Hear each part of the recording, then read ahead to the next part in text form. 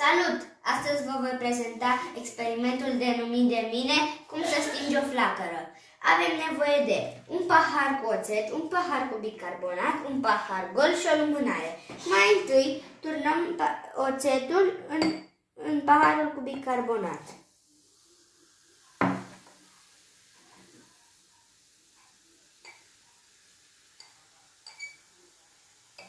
Apoi, aici vom face ceva nemai văzut. Cele din urmă cum stinge flacăra. Haideți să vă explic cum am reușit. Prin amestecarea oțetului cu bicarbonatul, am produs un gaz pe care l-am turnat în pahar, iar cu acel gaz am stins lumânarea. Lumânarea s-a stins deoarece gazul este unul care stinge focul.